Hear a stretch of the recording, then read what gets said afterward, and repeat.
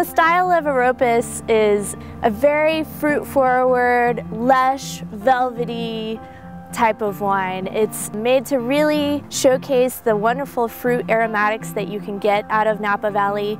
It has great structure and backbone because of all of the different vineyards that we're blending together and a lot of it is mountain fruit so those um, Howell Mountain tannins certainly come in but then a vineyard like Rutherford Star Vineyard which is where we are right now brings in the beautiful red fruit jammy components in the nose and in the mouth and it kind of tames those Howell Mountain tannins. So by blending all of these different sub-appellations together, I'm really able to craft a soft, velvety, lush, but complex and powerfully structured wine.